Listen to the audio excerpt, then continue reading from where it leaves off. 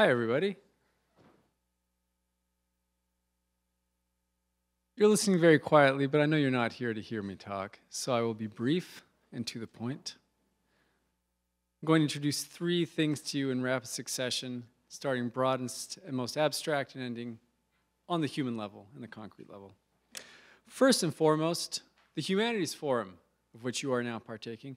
This is an opportunity for members of the Providence College community to engage regularly in the intellectual life outside of the classroom, to deepen their appreciation of the humanities, and to explore diverse perspectives from on and off campus.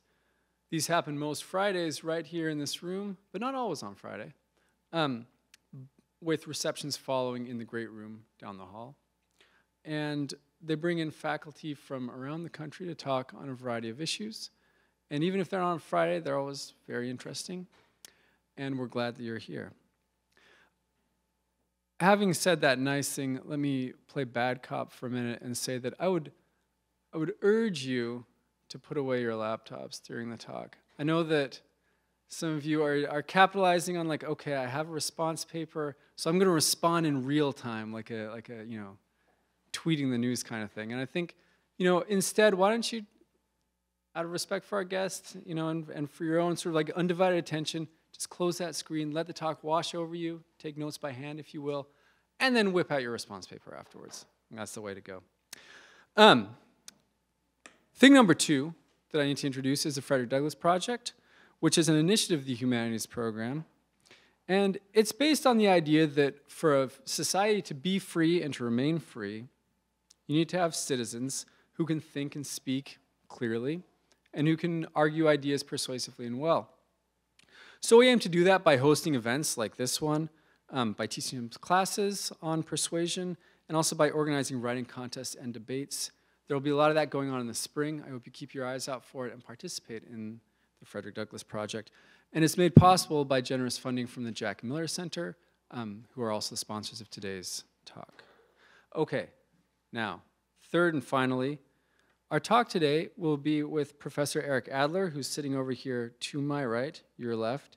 He's, the he's a professor and the chair of the classics department at the University of Maryland and previously taught at Connecticut College. He grew up, much like many of you did, in the Boston area and completed his PhD in classical studies at Duke. He's an expert on Roman historiography, Latin prose, the history of classical scholarship, and the history of the humanities. His most recent book is entitled The Battle of the Classics How a 19th Century Debate Can Save the Humanities Today. And he's going to be, he's thinking about, and he's going to be asking questions which all of you, as students in Civ courses, maybe have asked yourselves about Civ, such as why does this program exist? What is it good for? How should it be organized? How should it be designed? Now, if that's not enough to whet your appetite, allow me to read you this quote from Anonymous from Latin 201 on ratemyprofessor.com. Eric Adler is the best professor I've ever had. I have now taken three classes with him and hope to take more in the future. He explains things in a way that is easy to understand, and he takes the time to help you. He is also super funny and is just a great human being. So, without further ado, Super funny, great human being, Eric Adler.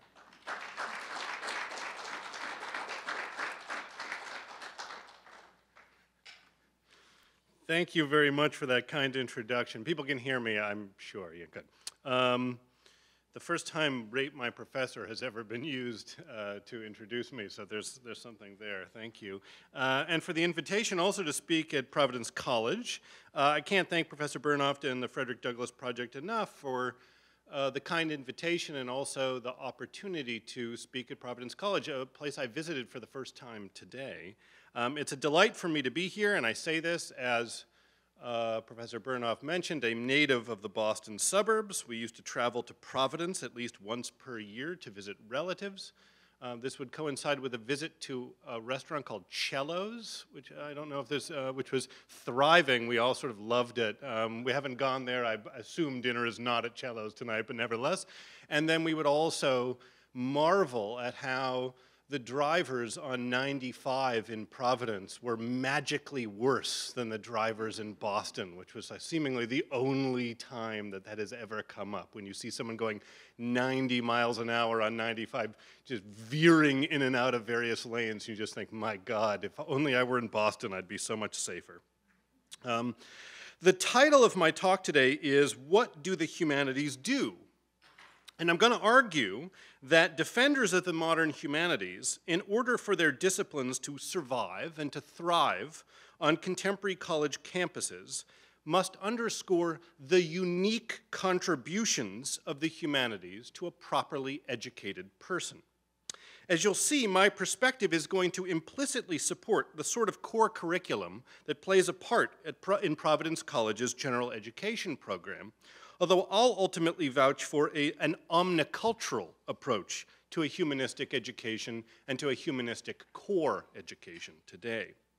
Since the, my topic this afternoon dovetails with my latest book, The Battle of the Classics How a 19th Century Debate Can Save the Humanities Today, uh, I'm going to be offering a kind of précis of that book as a means to plump for the necessity of the humanities for any educated person. My presentation should take me around 30 minutes. Uh, I'll then be happy to answer any questions you may have. Professor Bernhoft informed me that I'd have about 30 to 35 minutes for my lecture. I thought it would be useful for me to be concise. I'm sure you'll delight in that, even if I'm not funny, um, so we can have a longer conversation. Um, ever since my book, The Battle of the Classics, which came out in 2020, ever since it appeared in print, um, um, I have noted that mine is a subject on which people tend to have lots of opinions. And so I look forward to those opinions and to a conversation after about my 30 minutes of uh, spiel today. Um, my book, The Battle of the Classics, is about the distinctive value of the humanities and how we can best safeguard the place of the humanities on, in our society and in our higher education. As you're probably well aware, the humanities aren't faring well on contemporary college campuses. Even before the coronavirus pandemic, American newspapers and magazines seem to chime in each week with more examples of the impending demise of various humanistic disciplines, such as English or philosophy or German and the classics. Various universities and colleges across the nation have shuttered humanities programs. In 2020, Carthage College in Kenosha, Wisconsin, for example, announced the discontinuation of its classics, philosophy, and great ideas majors. Similarly, in the same year, Illinois Wesleyan University disclosed the shuttering of its classics department and slated programs in religion, French, and Italian for the chopping block. The University of Kansas in early 2021 announced its plans to eliminate its humanities program and undergraduate degrees in humanities and in visual arts education. With both a post, pardon me, with both a post-COVID fiscal crisis and demographic shifts looming on the horizon, many faculty members fear that such closures are just the tip of the iceberg. In this context, the humanities seem to be fighting for their very survival in American higher education. In response to this looming crisis, scholars have fought back. Not only scholars who teach the humanities, but also those who are more generally supportive of a broad approach to higher learning. In my book, I join their ranks, but I also disagree profoundly with most recent efforts to show why the humanities matter and why they must play a foundational role in the education of all Americans. My sense is that many contemporary defenders of the humanities, although their hearts are in the right places, uh, provide impoverished answers to the question, what do the humanities do? They provide such impoverished answers to that important question, I contend, because their apologetics are disconnected from the history of the humanities, or the history of humanism, as a pedagogical movement and as a philosophy of life since antiquity. The first chapter of my book examines many examples of contemporary apologetics for the humanities to determine whether they provide the best defenses of the humanities that we can muster. The chapter notes that most recent defenses of the humanities are not really defenses of the humanities per se. Rather, they overwhelmingly center on the humanities' purported ability to inculcate various skills in students. The skill most often vouched for by contemporary defenders of the humanities is something called critical thinking. In her book from 2010, uh, Not for Profit Why Democracy Needs the Humanities, for example, the philosopher Martha Nussbaum argued that the humanities are vital to education because they, quote, vigorously promote critical thinking, the skills and courage it requires to raise a dissenting voice, end quote. Similarly, in his book from 2014, The Humanities Crisis and the Future of Literary Studies, the professor of English literature, Paul Jay, argued that American college students should be introduced to postmodern literary theory because, quote, courses putting a stress on critical theories and disciplinary methodologies are some of the best ones we have for teaching critical thinking, end quote. Although apologists for the humanities who center their case on critical thinking are obviously well intentioned, one can note many problems with this line of defense. First, those who base their case on critical thinking seldom define what the term critical thinking actually means. As Victor Ferrall Jr., an emeritus president of Beloit College, noted in his book from 2011, Liberal Arts at the Brink, quote, there are few college presidents and admissions officers who do not routinely feature critical thinking in their public utterances. But what exactly is critical thinking? How does it differ from plain old good thinking? End quote. Given the crucial importance of critical thinking to contemporary defenses of the humanities, it is striking that few apologists would feel the need to unpack and explain what this concept is. Why would defenders allow their arguments to hinge on a term sufficiently nebulous that the professor of English literature, Stanley Fish, could dismiss critical thinking as, quote, a phrase without content, end quote? And Fish is not alone in his criticisms of the concept of critical thinking. Some education experts question its validity and its pedagogical value. Moreover, to convince skeptics that humanistic disciplines must be retained in higher education, it seems crucial to demonstrate that the humanities provide something that other disciplines do not provide. Yet it is far from certain that critical thinking, whatever that means, is the sole domain of the contemporary humanities. Can one earnestly contend that students don't learn how to think critically by studying, say, mathematics or biology or political science? Thus, Ferrall rightly wondered, quote, whatever critical thinking may be, why is it more likely to be learned by studying English literature or philosophy than business management? Why would one suppose that English literature or philosophy professors are more likely to inculcate critical thinking in their students than business administration professors? End quote. Indeed, if you ask professors of, say, engineering or sociology or nursing or physics, pretty much all of them will tell you that their classes increase their students' abilities in the realm of critical thinking. We can point to another important downside associated with justifying the humanities on the basis of critical thinking. As it turns out, this shortcoming plagues all such skills based arguments for the humanities. The problem is that recent defenders of the humanities regularly appeal to the authority of social scientists to validate their conclusions about the humanities as conduits for promoting desirable skill sets. Social scientists, unlike humanists, after all, can test empirically which subjects most effectively promote critical thinking, however they define it. As a result, skills based defenses implicitly suggest the social sciences and not the humanities have the proper tools to assess value. If only an experiment could demonstrate the true value of Shakespeare, they say, then the humanistic disciplines could prove their worth. Thus, humanists must turn to social scientists to validate their impressions. Humanists, apparently lacking any useful means to judge the worthiness of their subject matter, must play the social scientist's game.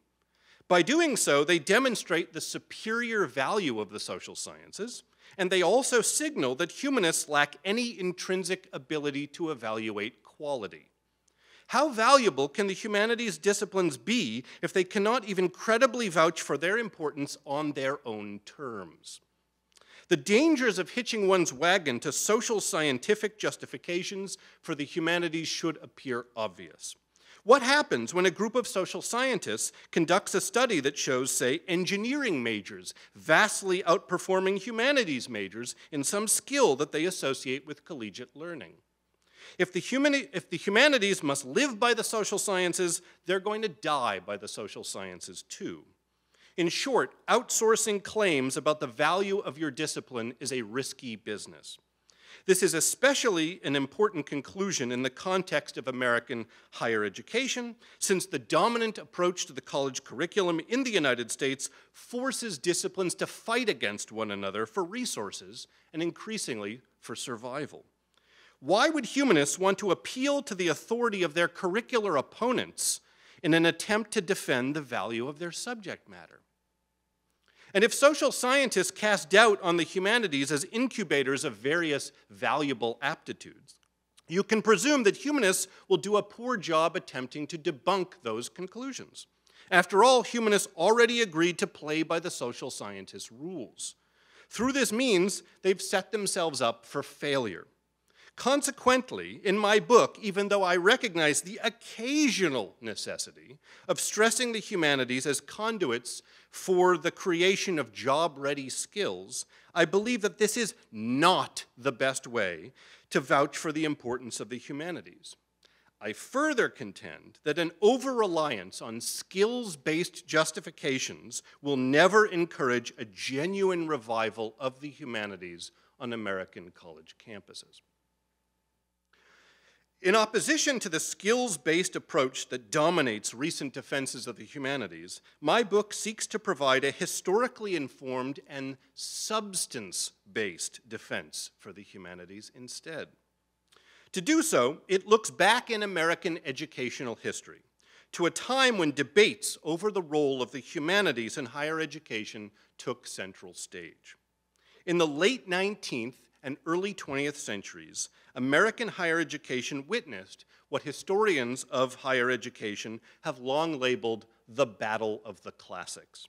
At this time, much intellectual energy in the nation was expended on attacks on and defenses of the role of the humanities in U.S. higher learning. And at that time, the late 19th century into the early 20th century, the humanities were still commonly conceived of as the classical humanities.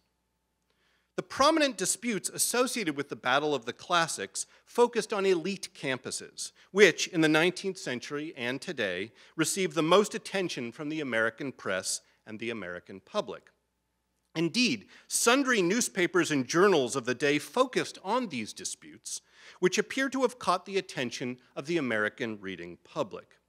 Traditionalists in the Battle of the Classics hoped to retain the classical languages, Latin and Greek, in many cases still synonymous with the humanities, as the pedagogical core of higher education in the United States. That's what they wanted. They wanted to maintain required Latin and Greek in the college curriculum. Um, their opponents, who were often called modernists by contrast, aimed to end curricular prescription and the dominance of Latin and ancient Greek in the American colleges. My book contends that we can learn today much from the arguments uh, from the late 19th and early 20th century in the Battle of the Classics that will be directly applicable to our situation in attempting to defend the modern humanities today.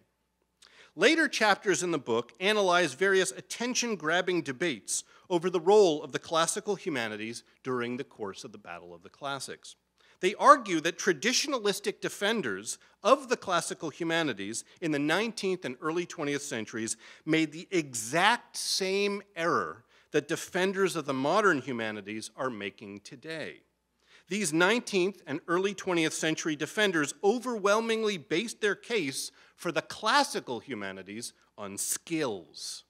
More specifically, traditionalists during the Battle of the Classics maintained that Latin and ancient Greek must remain central parts of the U.S. college curriculum because these subjects were supposedly the best inculcators of something they called mental discipline.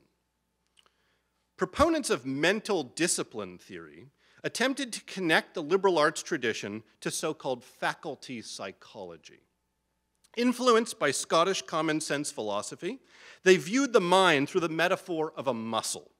Just as one needs to exercise one's body in order to grow strong, one must also exercise one's mind in order to increase the faculties of the intellect, the will, and the sensibilities.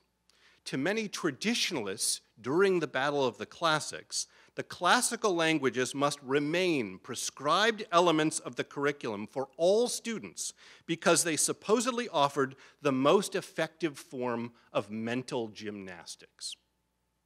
It did not take long for the modernists to debunk that claim. Indeed, as various social scientists noted at the time, the traditionalists presented scarcely any proof that studying the ancient languages was more intellectually taxing than studying, say, chemistry or German. To make matters worse, by stressing the cardinal importance of mental discipline, the traditionalists had unwittingly made social scientists the arbiters of education's value. Thus, for example, when the psychologist Edward L. Thorndike reported on a study that he conducted of American high school students, in which he demonstrated that those who had studied Latin scarcely gained more general intelligence, as he called it, than those who had taken stenography classes, the traditionalistic supporters of the classical languages had no answer. This is of cardinal importance for defenders of the modern humanities to understand today because as the historian of education David Potts has correctly stressed, critical thinking is mental discipline's, quote, conceptual successor, end quote. Our current apologetics for the modern humanistic disciplines, which routinely genuflect to critical thinking and other kindred skills, suffer from the same flaws detectable in the traditionalistic defenses of the classical humanities in the context of the battle of the classics. Such flaws should be obvious to astute students of the humanistic tradition. Indeed, the Italian humanists who reshaped and reinvigorated the classical humanities in the early Renaissance had revolted against the skills focused scholasticism that was then regnant in European higher education. The scholastics had placed paramount value on the techniques associated with syllogistic reasoning.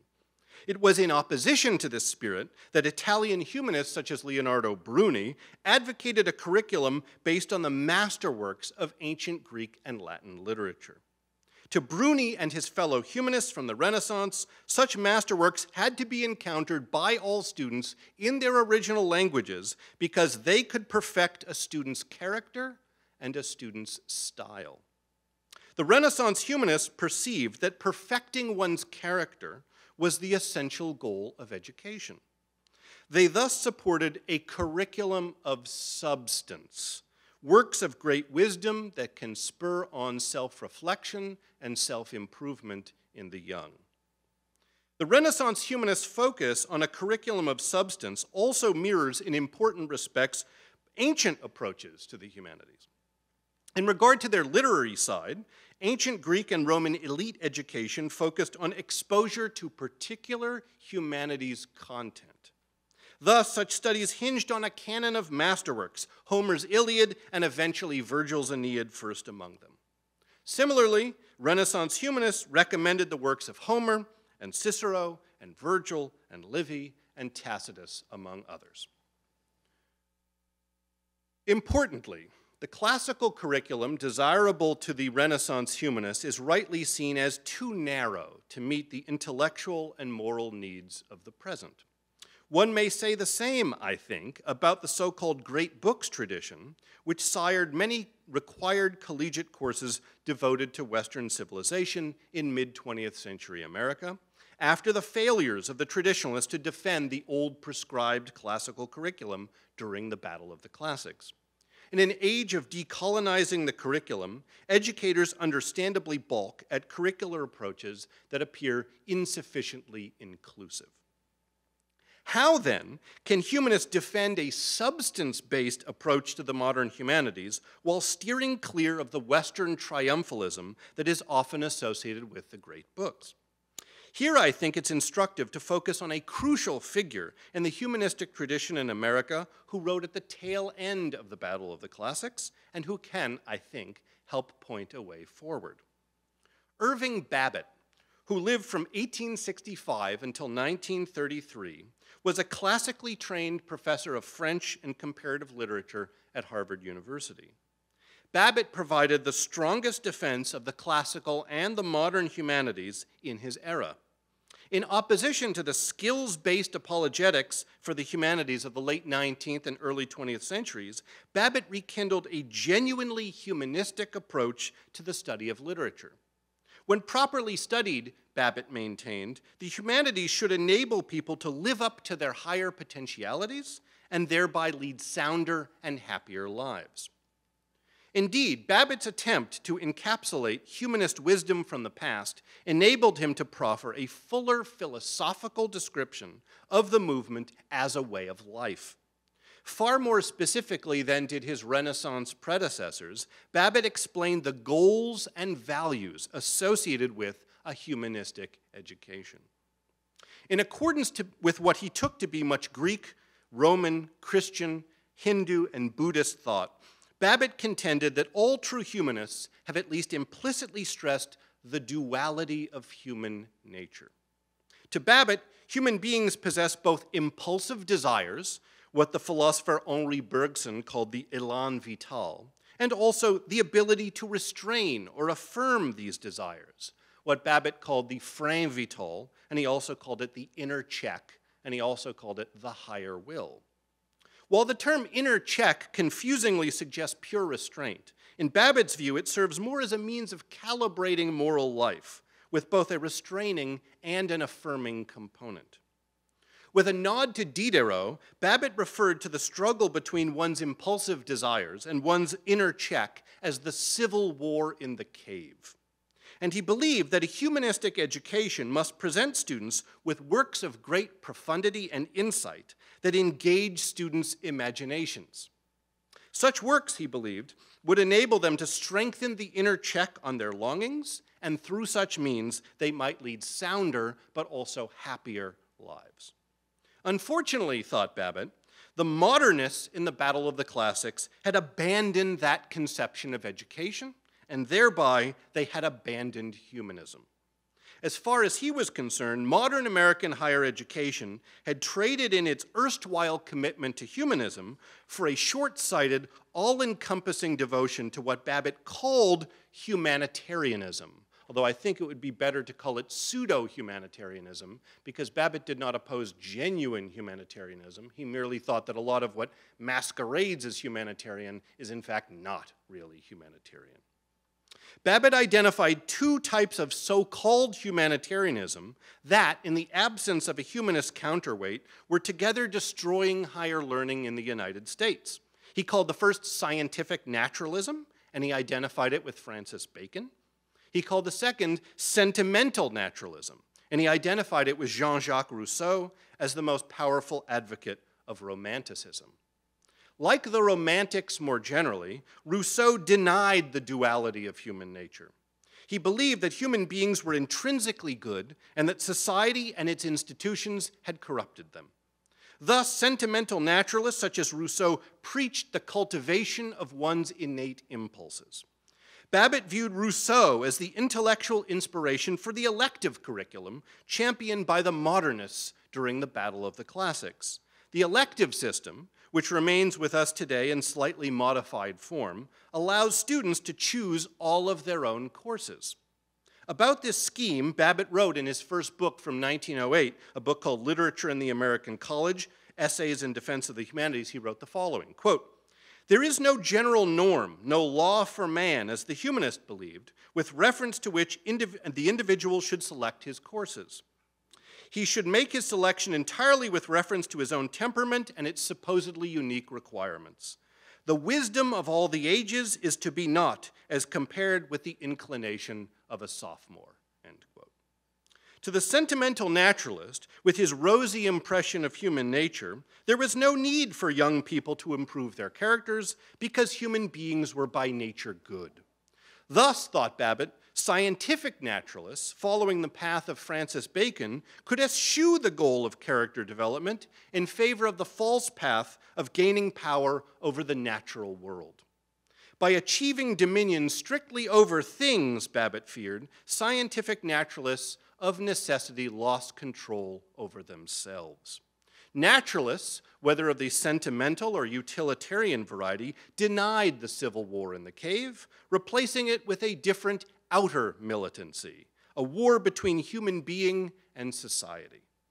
But without regard for personal improvement through the cultivation of one's higher will, Babbitt feared that supposed humanitarianism would actually unleash horrors on the world. The contemporary choose your own adventure curriculum promotes the message that discipline specific skills are the lone attainments of an educated person. This is not a curriculum that will allow humanism to thrive. Moreover, Babbitt stressed that such a curricular approach is based on an appealing but ultimately unsound foundation that people can rightly avoid the goal of self improvement in favor of turning their attention to improving the world. To Babbitt, the complete replacement of humanism with supposed humanitarianism provides a recipe for civilizational disaster. An approach to education, such as our own, which casts away humanism, is likely to create what Babbitt called, quote, efficient megalomaniacs, end quote. Indeed, our current generation of Silicon Valley tech giants, certain that their inventions will make the world a better place, even though these, pardon me, even though these inventions appear to increase depression and anxiety among their users, provides ample warning about the threat posed by an amoral approach to higher learning that avoids the crucial role of character development. While underscoring the cardinal importance of character formation in education, Babbitt also managed greatly to broaden the humanistic tradition, to allow it to look far beyond its classical and even its Western origins. He did so by stressing what he called the Platonic problem of the one and the many. For Plato, the one and the many amounted to a metaphysical problem. In the early dialogues, Plato wondered what is the one thing common to all, say, pious actions, which makes them pious? Babbitt, however, transferred the problem of the one and the many to the human soul. Uh, human beings, Babbitt noted, are simultaneously all different and all the same. As such, all human traditions, Babbitt posited, have contributed to what he called the wisdom of the ages, a nucleus of universal human experience that could help us determine salubrious standards for living a good life. In his writings, for example, Babbitt, who had studied Sanskrit and Pali at the Sorbonne and at Harvard, regularly included insights that he attributed to such non Western humanists, as he called them, as Confucius and Buddha. For example, in his magnum opus from 1919, Rousseau and Romanticism, Babbitt noted that, quote, the, the experience of the Far East completes and confirms in a most interesting way that of the Occident we can scarcely afford to neglect it if we hope to work out a truly ecumenical wisdom to oppose the sinister one sidedness of our current naturalism. End quote. Babbitt implicitly demonstrated that a proper approach to the humanities should center around the study of global masterworks. After all, works of deep intellectual, aesthetic, and moral significance are linked to a rich variety of human civilizations past and present. From such works, we can attempt to discover whether there is a central core of human wisdom across the ages from manifold traditions that can help us grapple with the best ways to live.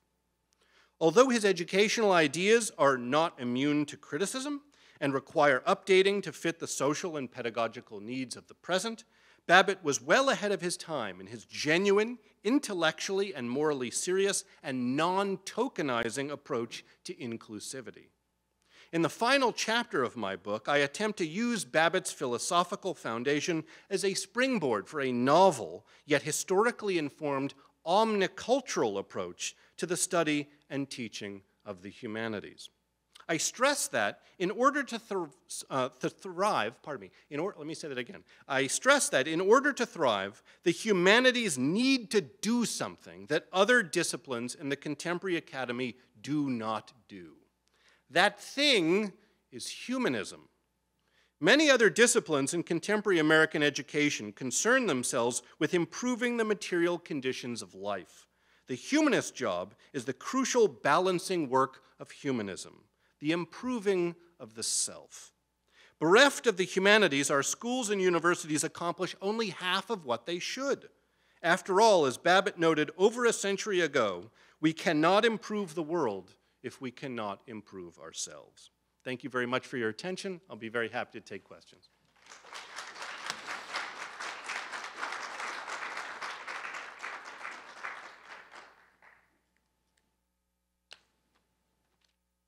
One of the things we like to do at the Humanities Forum is have a student ask the first question, or at least give the floor to the student for first question. So, you got one? All right, and as wait for the uh, the mic before you talk because we're capturing this all on film.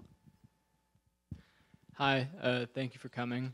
Um, I was wondering, um, one of the main theses that I sort of interpreted from this talk was the role of humanities in self-improvement and teaching that to students. Um, this being a Catholic school, um, I was wondering uh, if you thought that a education about theology or um, related subjects would have a similar role, or if not, what role that would have in a holistic education. Thank you. It's a great question. I will say straight up that I am not Catholic, so uh, my answer to this will be less informed than others who happen to be in the room. Um, I come from a different tradition and also educationally from a different tradition as well. Um, but I do think that, more broadly speaking, that any kind of religious education is going to end up dovetailing with some of the themes, the kind of humanistic themes that I'm talking about in, in, in my lecture today. Um, and so it's certainly the case that there's going to be interplay. I would note also, and I had a, uh, a discussion about the core curriculum here beforehand, that theology plays a role in that that kind of humanistic core as well. So I think that the people who made up that core curriculum at Providence College are aware of the overspill between those two things. It does seem to me also that if you're going to go for uh, to an institution of Catholic higher learning that it have, should have a stronger Catholic component than from other religious traditions. I mean, why else would you? Why else does Providence College exist if it doesn't actually have a, a, a focus on Catholic traditions? I don't think it would be hurtful, however, and I'm certain that this would probably happen in one's education at Providence as well, to focus some attention on other religious traditions, both to see where there are differences between those religious traditions, but to me, actually, maybe more importantly, where there are similarities. This might also help with a sense of ecumenism in our culture more generally, which is badly needed, but also may clue into something that I talked about in my lecture, which is the idea that if different traditions have similar views in some respects on the way you ought to live your life, that suggests that human beings from very different circumstances have ultimately hit on similar insights into the meaning of life and how to live a good life. That seems like something we ought to take very important, uh, importantly. So, yeah, thank you. Uh, uh, my name is Chris Berard from Providence College English Department. I have two points. The first question I have is uh, if you have say, for example, the 19th century classical humanists, and then they fell prey, as you say, to what you described as mental gymnastics. It would seem that that education that they had failed them, or their ability to follow that education failed them. Mm -hmm. So if they can't, drawing upon the tradition of the ancients, defend their own tradition, yeah. then it sounds as though that project, although I believe in it, is somehow failing them. Right. Uh, my second point goes to the solution that you're describing, which is the global or the global humanities or the global global studies in a sense, world world history, world literature, world civilization. I think if we're to be honest, even trying to teach Western Civ today trying to take into history, literature, philosophy, we have to make a lot of generalizations, and we often find ourselves not necessarily doing justice to the cultures, to, to, to what they're doing, right? Mm -hmm. So if we have that problem in Western Civ, as we teach it today, yep. how much more magnified will that problem be? And also, going to the second point of that, what if if we are really self-critical and honest with ourselves, maybe we as being trained in one tradition to focus as PhDs in one specific area, maybe we don't have the skill set, the experience, the knowledge to, to do justice to a text, mm-hmm. uh, let alone trying to, to have this wide range of coverage. Yes. Thank you. All right, thank you very much for those uh, important points. First, I would say about the first, let me take the first one first. Um, it is always the case, I think, that some sort of educational tradition of any sort, whether it's humanism or anything else, can kind of veer off course and people can end up supporting it for very different reasons from what its founders supported. So if you look at what Cicero has to say about what he calls the Studia Humanitatis or what Leonardo Bruni say about the Studia Humanitatis, very different from mental gymnastics. I mean, you really kind of couldn't get there from there right? Um, I do think that in the circumstances of the Battle of the Classics and early American higher education more generally, there were some structural and pragmatic reasons why that education was likely not to lead to the kind of flourishing of humanism that might have originally been envisioned um, uh, earlier on. One of them is that, and it's hard to imagine this because American higher education was so different before the Civil War uh, from what it is today, is that the vast majority of teachers in American higher education prior to the Civil War were tutors or college presidents themselves who had virtually no, if any, um, graduate education at all. In many cases, they were tutors who had only recently finished the college curriculum themselves. And so as a result, they weren't very good teachers. They didn't have much advanced knowledge. So, what they did in regard to their teaching of Latin and Greek is they turned them into kind of grueling recitation sections in which people had to stand up and kind of give their forms and so forth. And maybe they get slapped on the wrist if they weren't able to do so reasonably. So, the argument they came up with about mental discipline made sense in that kind of pedagogical context, in which it would have been very hard to believe that those kinds of classes were really leading people to the promised land of what the good life was was. It was mostly grammar, sort of gerund grinding, basically. And if that's what you're offering, well, mental gymnastics is kind of all you've got, right? So we find ourselves in a very different sort of pedagogical situation, which has its own challenges, but thankfully doesn't have those challenges associated with it. And I do think that that makes things easier uh, for us. As far as the second question is concerned, this gets to the more general concern about dilettantism, right? That we could be teaching these kinds of classes and people kind of don't know very much about what they're talking about and so forth, and there can be a lot of spitballing, and especially given the nature of graduate education in this country, people can feel very uncomfortable. You know, here I go, I'm going to talk about the Bhagavad Gita. I was trained in Racine, but I'm going to suddenly going to talk about this. This is something that makes people nervous. Now, there are some ways to get away from that, I think, pragmatically speaking. So that at Columbia University, they have a famous core curriculum, and one thing they do is that they have a session each week for the teachers of the core, and one person ends up being an expert on the text that's going to be taught that week, and that person delivers a lecture and answers questions to the other professors who are going to be teaching that to give some vital context. Here's some things you should point out. Here's some historical context you need to know, and so forth. It's not going to be the same as an expert on everything, but it's going to be better than nothing, I think. So that's number one. Number two, I would say, I'm much less concerned about dilettantism than I am in the reverse. One thing that is really crucial to education in the West, starting really with Aristotle as far as what's written, is the idea of well roundedness. That we want people who are liberally educated to be well rounded people right? Now, what do you see if you go to a, college curriculum and, and, college professors today? You see general education curriculum in which students get to pick and choose the distribution requirements, pick a humanities class, it doesn't matter which one, and so forth. And those tend to be taught by the narrowest experts on the smallest topics that they're going to be teaching in the class itself. So the idea is that if you take multiple classes with the narrowest experts on small topics, somehow you will be well-rounded in a way that none of the professors who are your teachers are actually well-rounded. So I don't think under those circumstances we're actually delivering something that's crucial to the humanistic tradition, but also crucial to the liberal arts from antiquity moving forward. I think that's much more of a problem than the reverse of kind of spitballing, which can happen even when people are well trained too.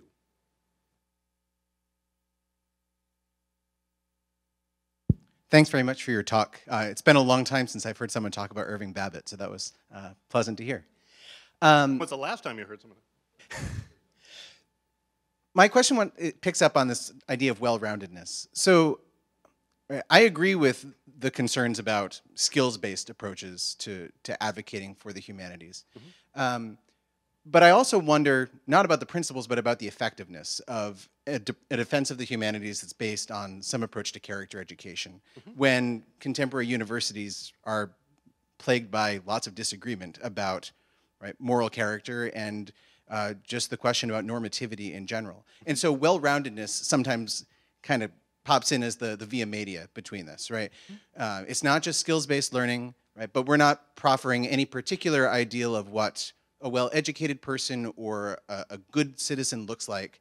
We're just presenting you an array of options, right? So I'm just wondering where that kind of defense of the humanities uh, falls into the schema that you're developing here. Yeah, I, so uh, uh, that's, a, that's a great question. I think it gets to something that's really important. The last time I delivered something akin to this lecture, a student got up and said, you know, I really don't want my professors just hectoring me about how I should live my life you know, and that implicitly was, I'm not so sure that these people know very well about how they should live their lives, let alone mine, which I understand. To me, and I think actually to Babbitt as well, um, the kind of education he's talking about and the kind of education that I'm talking about is one in which the student and professor are together seekers, looking at texts that are profoundly, have been seen as profoundly important to human beings from the past and in the present for how they ought to live their lives. But that the ultimate decisions that they make about things, um, that's up to them. Right? So I don't want a dogmatic teaching in which everyone is going to be an Aristotelian by the time they leave the class and everything else is just awful and you shouldn't have anything to do with it, right? In any way, shape, or form. You, it may turn out that when you read some of these great texts that you totally reject them, that a student may completely reject them or transcend them in some way, see that some things are valuable and other things aren't, and so forth. That's all up to the student, him or herself. And I think that the, the professor should be a guide, but actually should not be dogmatic in forcing a particular worldview on the students. I don't think it really works, frankly, even if one does that. So I guess I'm a little bit more loosey-goosey, and I think Babbitt is as well. So the idea that these texts are inspiring and very valuable for students to do the work that they need to do to figure out the answers to life's great questions for themselves. And a professor can be a guide and a help for that, but the professor should not be dogmatically asserting what the good life actually is for them.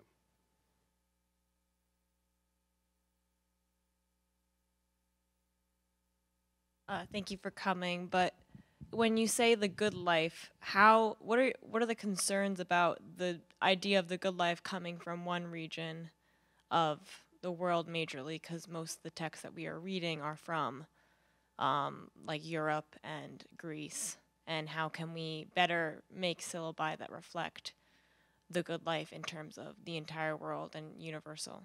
Yeah, well, I mean, in some ways, Babbitt offers a kind of version of this. Unfortunately, Babbitt was much more focused on what we would now call the Far East um, and on Western Europe than on other traditions, but I do think that he implicitly points a way forward for those who are interested in a even broader, more ecumenical look at things.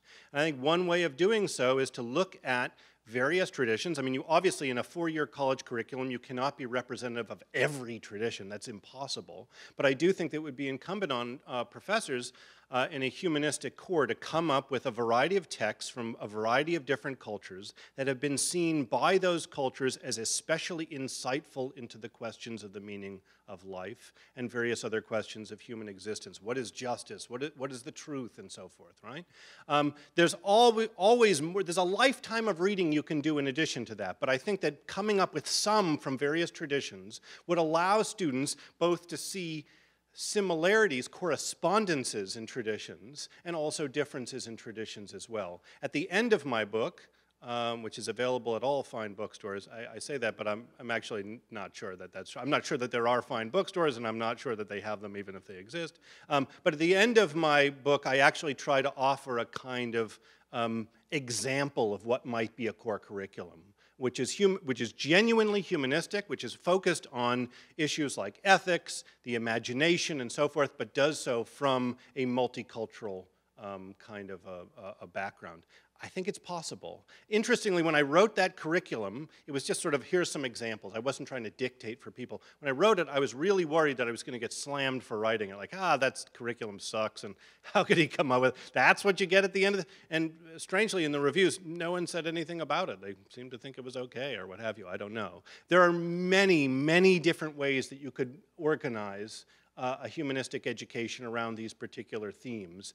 I'm more interested in the idea that one does do that rather than what the specifics on the ground look like. To me, it would be actually rather interesting if a variety of American institutions actually offered their own core curricula, which were different and really spoke to the idea that coming to this particular college is going to give you a different sort of education from what you get elsewhere. But instead, what you find at most institutions, Providence College is not really like this in some respects because it has a kind of core and has the Catholic tradition associated with it. If you come to the University of Maryland or Connecticut College or Duke University, I'm just picking places that I've been, it's the same sort of pick and choose curriculum you get anywhere else. And the, there's sort of no difference between going to Duke versus going to Conn College. I mean, the class sizes might be different and what your students are like are different. But the, as far as the curriculum is concerned, it's all the same choose your own adventure sort of curriculum.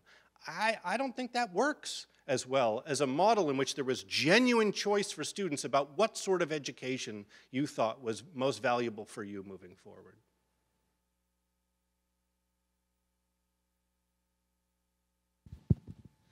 Thanks so much. Um, lots to think about, very timely.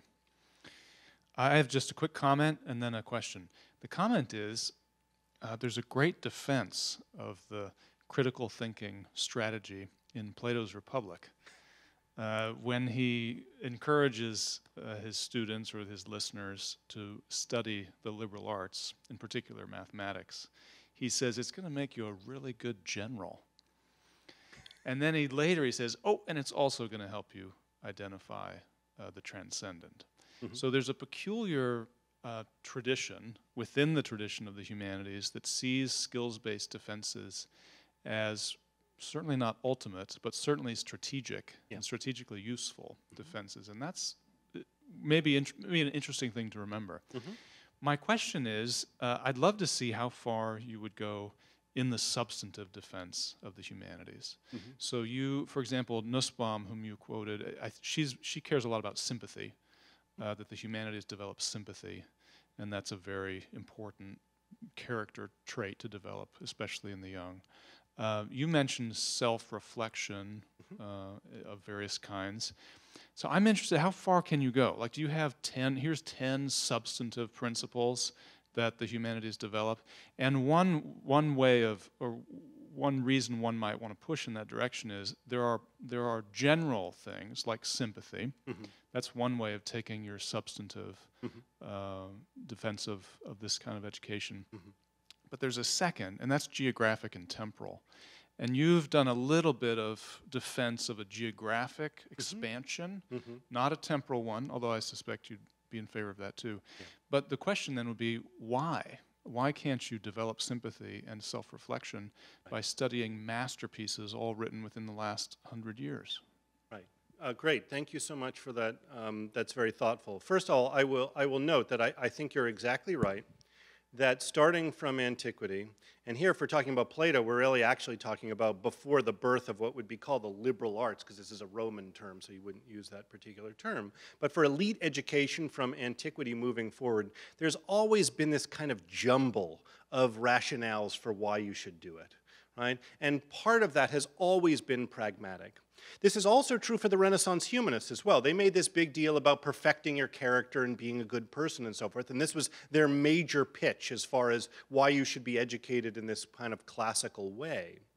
But at the same period of time, they lived during a period in which there were distinct pragmatic benefits to being trained in Latin and Greek that you could have certain jobs as a result of having that particular training. Being a notary, being a teacher, being a, a politician, um, in medicine, in law, these are areas in which grounding in the classical languages was necessary.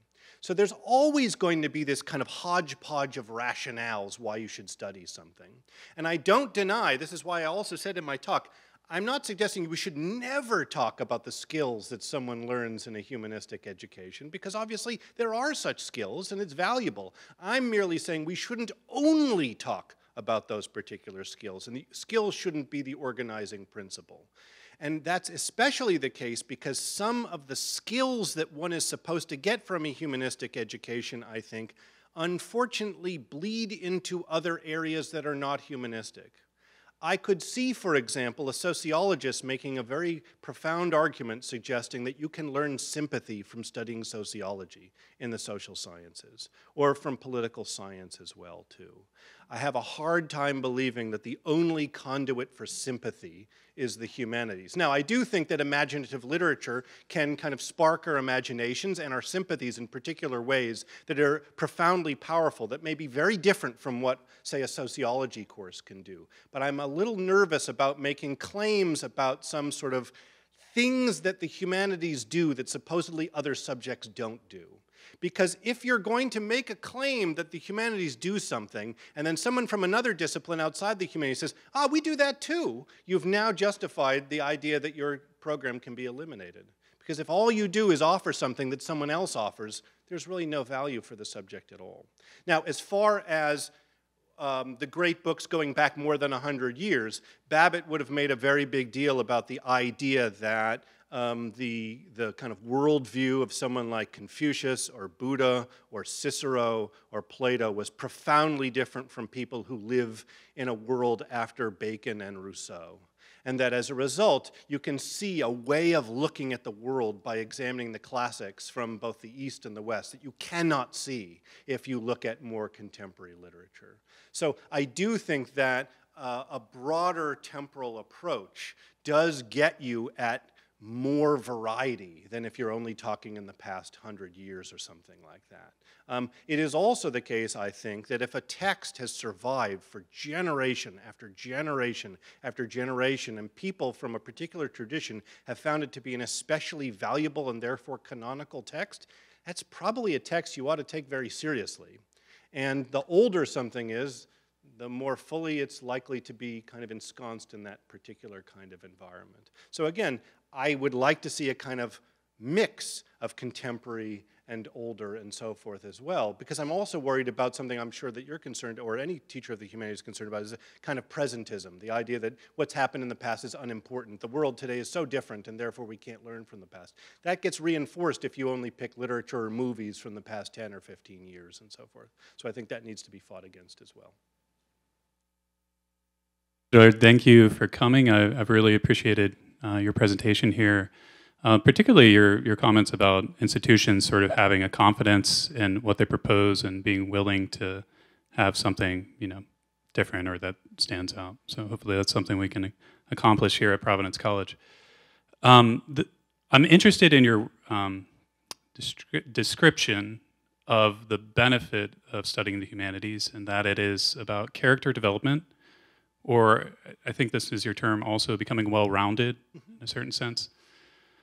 I'm wondering if um, you've considered uh, the humanities offering uh, wisdom, and if you've uh, chosen not to present that, or just what are your thoughts on no. Uh, the humanities offering wisdom to a student? Yeah, thank you very much. So, first off, I would say about well roundedness, I would say that's probably more associated with the liberal arts tradition as a whole, as opposed to strictly the humanities, although here things get complicated because in antiquity, for Cicero, the studia humanitatis, or the studies of humanity, were the same as the liberal arts. It's actually in the Renaissance where they split off, or partly split off, and the humanities become narrower than they had been in antiquity. In antiquity, the humanities also included the sciences and so forth, things that we don't associate with that. So I would say this is more something associated with the, the liberal arts tradition as a whole. In regard to wisdom, um, I would note that um, Babbitt did kind of genuflect to Edmund Burke, who comes up with this phrase, the wisdom of the ages, um, as a way of offering for students a kind of sustenance for them to, to pick over in the course of their education about what this wisdom may actually be and where it may be located and in which traditions. And so he did genuinely believe that it would require a kind of wisdom on the part of an adult to recognize how to live one's life to the fullest or the best way one can. And that he thought also that in order to get that wisdom, that this wisdom was so important, in fact, that it was valuable to look at manifold traditions for examples of that wisdom. He was someone who was very much um, not only an ecumenical thinker, but he was kind of a, um, a lumper rather than a splitter, which makes him someone who's sort of un, uh, unfashionable in contemporary academia. He's someone who's interested in looking at correspondences between things. And he genuinely believed that there were correspondences between Confucianism, Buddhism, and Christianity that were especially valuable for students to examine because the idea that such differing traditions had come up with and valued similar views on the way to live your life was a suggestion that there is a wisdom of the ages, that there is a sense of human wisdom from manifold traditions that actually should lead us to think maybe they've hit on the best way to live one's life. Now, that's ultimately up to the student himself or herself, but that's what they should be presented with. So I'm not bothered by the notion of an education in humanism is also a kind of search for wisdom. I just would be nervous of suggesting that I'm going to come to my class and you will get wisdom from me or something like that. I, I don't think that's going to work. Instead, let's read some great texts together from various traditions and let's see if we can intuit together what the wisdom of the ages may be. Sure. Whoop, we got time for two more questions, I think. Looking around the room. Yeah.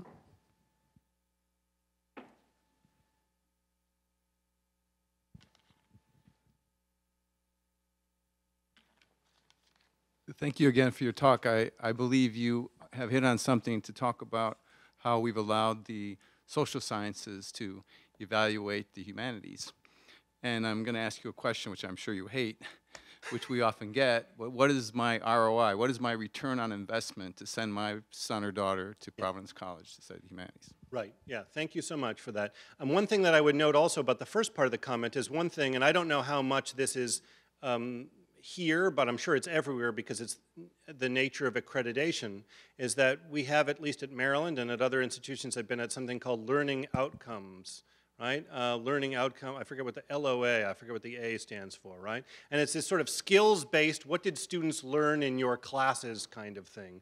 And everyone hates them, right? Because everyone knows it's a joke. And the idea that you're going to get a humanist to kind of come up like a social scientist and figure out how much learning was done in these particular categories, these skills-based categories and so forth. Well, that's what you get if you have no substance-based vision of what an education is. You get learning outcomes. That's what you get, right? And everyone hates them. My wife's a social scientist. She hates them too. She thinks them are a joke as well. No one takes that stuff seriously. It's just done for accreditation. But that, that's the vision of education that we're actually offering. If we do not offer a substance-based curriculum, then what we're saying is all students get out of this education is skills. And if that's the case, we might as well all do learning outcome assessments because that's the best way to do so. Now, as far as return on investment, one thing I would make clear is that I'm not trying to argue that everyone needs to be a humanities major. I'm merely arguing that as part of their higher education, everybody should have a strong humanistic component to their education. So that if someone ends up doing a humanities core in the way that I envision, and then ends up majoring in physics, I don't see a problem with that. I've got no problem with that. It doesn't matter to me at all. What I see as really worrying is that someone gets basically a kind of narrow vocational education that never deals with character development, that never deals with life's great questions, and then just goes off into the world. And we somehow believe that they're going to make the world a better place, even though they've never thought in any way, shape, or form about what it means to be a good person. Right? That's dangerous to society itself. And so I think now this is we're getting away from return on investment, but I do think we're thinking about the our culture and how our culture can survive, right? One of the things that we see, and I don't want to get too political about this, but I'm sure you can imagine uh, some examples, is that many of our contemporary political figures are, shall we say, not wonderful people who seem like really great people who should be emulated. But shouldn't a society's leaders be people who are worthy of emulation in some way? Shouldn't they have reached this pinnacle as a result of this? Well, if we have a kind of education in which they are to, supposed to shunt aside all kinds of questions of character and focus only on sort of vocationalism, how are we going to assume we're going to have good leaders? How are we going to have a good culture? So to me, it's less about the individual return on investment and more about safeguarding the future of our culture itself. That everyone ought to have some sort of humanistic core to their own education that really looks at these questions in a serious way. And then whether they major in other subjects and so forth, that doesn't matter to me at all. I think there's way too much focus on what one's major is. As the, you know, when you tell people, oh, I'm in college now, their first question to you is, what's your major? Right? This the first question, right? Well, for most of American higher education, there were no majors. They didn't exist until the very late 19th century, right? Everyone took largely the same classes before the Civil War and so forth because these classes and the content in those classes were seen as the conduits to living the good life. Right? To me, it seems like one reason why students tend to see general education as jumping through hoops is because it has no substance to it. Right? And if we provide that substance and we allow students to see that those kinds of classes can allow them to think about how they ought to live their lives, I think what they end up majoring in is, is, is neither here nor there. I want to take the last question, Professor Adler, and I'm, I'm going to ventriloquize on behalf of what I think maybe some of the students might think or might respond to this. And it goes something like this. They might say, you know, Professor Adler, I I read 80 pages of something rather last week. I have to read, uh, you know, 100 pages of John Stuart Mill this week, and then next week, I don't know, I think we're doing Nietzsche or something. And I didn't really understand it. We, we didn't read the whole thing. You know, I moved along, and I, feel like I'm just on a on an intellectual conveyor belt where I sort of like grab a sample of something on my way past. How is this supposed to form my character? Mm-hmm. And and so what I'm getting at with this question is I'm wondering whether your argument entails that we have to also study these texts in a certain way or in a certain mode and not just because like I could have 20 books on my bookshelf and I'll dip into them a little bit and and forget about them and and I don't think I've changed at all. Right. As a result of this. Yeah. Okay, great, great, great questions. Two things I would say in regard to if I if I can remember both as I'm going through my answer. One is that I do think it's true that there are different ways to study text or to read with different levels of seriousness, and that some of them will not really lead to the kind of um, self reflection that I'm talking about. When you talk about the idea that the humanities could make you a better person, the, the obvious response to that is well, there were some very highly cultivated Nazis you know, so clearly these are people who understood they knew about painters and some philosophy and so forth, and they were some of the most awful people you've ever seen before in your life. Similarly, at a much lower level, you could see some people on a faculty who know quite a bit about various texts, but are not necessarily such wonderful people if you talk about to them in their daily lives. But I would suggest that there are different ways of studying these texts. And one of the real problems about a humanistic education is it is so tied up in ideas of um, class um, that and elitism that oftentimes people will take these subjects not because they really have this thirst to understand the answers to life's great questions, but because it looks fancy. You know, um, so oftentimes if someone asks me, "What do you do for a living?" and I say I'm a classics professor, well, the first question you'll get is, most of the time is what's a classics professor? What are the classics? That happens a lot. But when you tell them that, you say it's Latin and Greek. Oftentimes they go like, ooh, wow, that's very fancy or something. They don't know anything about it, but it, there's a kind of cachet associated with it because of the subject. Dimly understood that it was so important in earlier American higher education. That, I think, actually gets in the way of studying these texts in the kind of manner that I'm talking about. So I would say that that's one issue that you've brought up. The second, though, is that I would say that we underplay the degree to which what we read ends up having an impact on our imaginations and the way that we see the world. One thing that's really strange is that if you look out today at kind of fights over education, in primary and secondary school, there are these very unpleasant but valuable fights that people are having about the curriculum. Should students be reading Homer's Odyssey in ninth grade, or should they be reading young adult fiction? And people get into these huge fights about this, almost fist fights about this stuff, with a kind of recognition that what you read has this huge impact on how you end up seeing the world, right? And then suddenly when people get to college and they just think, ah, just take whatever courses you want, it doesn't really make any difference. Just take a humanities class. It could be comic books or it could be Homer, it doesn't really matter. Suddenly you get to this level and people just totally underplay the role of the imagination in life. This is something that advertisers don't do. If you look at advertising, very seldom do you see a television advertisement in which someone just says, this is the best car and here's why. It has the best uh, uh, tires, it has the best engine, and so that's not, it's normally Matthew McConaughey driving shirtless at night in some Lincoln or something like that. And you're, now, you'd have to be an idiot to think that if you bought a Lincoln, you're going to look exactly like Matthew McConaughey shirtless driving at night. But advertisers recognize that even with something as stupid as a Lincoln commercial, it has an effect on your brain and the way that you see the world. If a Lincoln commercial can do that, such that you might actually buy a Lincoln, just imagine what Homer can do. Just imagine what Confucius can do. So I don't, I wouldn't, even when we try to read these things and say, I don't really fully understand it and so forth, they end up shaping our worldviews in ways that we don't even necessarily recognize. For instance, when I was in middle school, we all read To Kill a Mockingbird, which I would call a good book, not a great book, but a good book.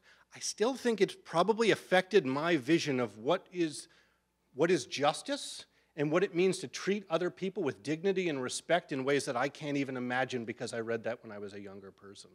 So one can imagine that that has this effect. It's not always going to fit. It's not always going to work. Sometimes you just sort of read, you know, James Joyce's Ulysses and say like, "My God, what in Lord's name was that? I got nothing from it." But oftentimes it's going to seep into your brain in particular ways and have an effect on the way that you view the world. So what we teach matters, not just how we teach, what we teach matters.